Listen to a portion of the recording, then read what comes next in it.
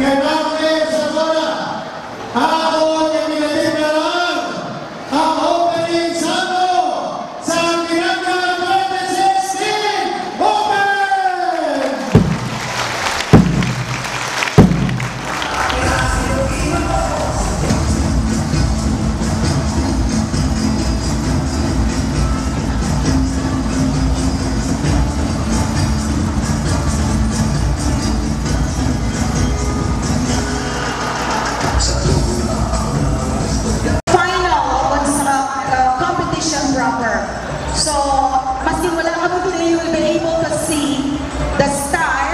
the speed, the rhythm sa grand opening salvo.